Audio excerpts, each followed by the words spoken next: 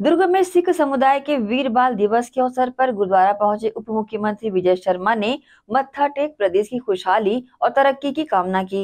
सिख समुदाय के गुरु गोविंद सिंह जी के दोनों साहिबजादों की शहादत को याद कर वीर बाल दिवस मनाए जाने के अवसर पर दुर्ग के स्टेशन रोड स्थित गुरुद्वारा में भाजपा के उप मुख्यमंत्री विजय शर्मा गुरुद्वारा पहुँचे, जहाँ वे वीर बाल दिवस के मौके पर आयोजित कार्यक्रम में शामिल होकर गुरुद्वारा में मत्था टेक प्रदेश की खुशहाली और तरक्की की कामना की। इस अवसर पर उन्होंने समाज के लोगों के बीच संबोधित करते हुए कहा कि यह हमारा सौभाग्य है। मानवता के लिए, अस्मिता को बचाने के लिए वीर बालकों ने एक मिसाल कायम की। आज का दिन गुरु गोविंद सिंह जी के दोनों साहिब साहिबजादों की शहादत का दिन है। उप मुख्यमंत्री विजय शर्मा ने कहा कि सिख समाज के दसवें गुरु गुरु गोविंद सिंह जी के साहिब साहिबजादों ने मुगलों से हार नहीं मानी, इसलिए उन्हें दीवार में चुनवा दिया गया। उन्होंने कहा कि हमारे समाज में प्रेरणा के विषय हैं। उनकी शहादत पूरी भारत वर्ष के लिए प्रेरणा का विषय है। उन वीर बालकों की शहादत को याद करने के लिए प्रधानमंत्री नरेंद्र मोदी को धन्यवाद देता हूँ। इस संबंध में उन्होंने मीडिया को अपनी प्रतिक्रिया दी।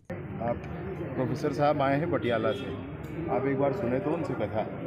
वहीं हॉल में रोक कर निकलेंगे, दावा है मेरा आपसे। ये अनुमति 2022 की है। उसी के आधार पर अभी तक काम हो रहा है। नई सरकार की कोई अनुमति नहीं है। माननीय मुख्यमंत्री जी का प्रिविलेज है, उन्होंने निर्णय कर लिया है। मन में कुछ मनन कर रहे हैं। मैं सोचता हूँ कि शीघ्र ही आ जाएगा। जामुल वाले में दो मैंने लोगों का बकवास हुआ है और दो अभी उनकी उनका इलाज जारी है। पुलिस भी जाँच भी जारी है। मैंने पुलिस से तो पूछा है लेकिन पूरी घटना क्या है इसकी जानकारी अभी नहीं। वो स्पष्ट होगा अभी। जैसे पुलिस की जाँच करते भाई पूर्व की सरकार ने तो 36 में से एक वादा पूरा नहीं किया। पहले वादे का पहला लाइन था कि दो साल का बोनस देंगे नहीं दिया। कहा था माताओं बहनों को हर महीना पाँच सौ रुपये देंगे नहीं दिया। कहा था विधवा बहनों को हर साल हर हर महीना एक हज़ार रुपया देंगे नहीं दिया। वृद्धों को कहा था कि पंद्रह सौ एक हज़ार और एक हज़ार रुपया महीना देंगे पेंशन का नहीं दिया। मेरी सरकार का जो वादा है वो पूरा होगा उसमें आप संशय न करें। वो मोदी की गारंटी है कहीं कम, नहीं खत्म होने वाली है। 25 तारीख को दो साल के बोनस की बात कही किसानों के खाते में आ चुका है। 18 लाख प्रधानमंत्री आवास नई सरकार ने पहली कैबिनेट के पहले लाइन पर इस प्रस्ताव को किया है।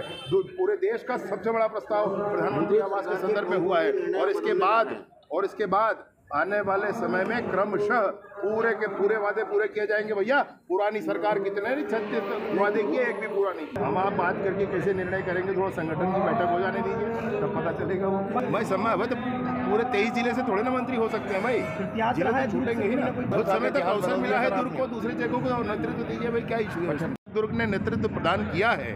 अभी एक बार थोड़ा मार्गदर्शन लें। पूरी मैं पहली पता तो कर लें हुआ क्या है ये पता तो विजय भाई? मैंने शुरू से ही बोल बोलना ऐसा नहीं उचित है। पता कर ले बात क्या हुआ है। ग्रैंड एशियन न्यूज़ के लिए दुर्ग से नसीम फारूकी की रिपोर्ट।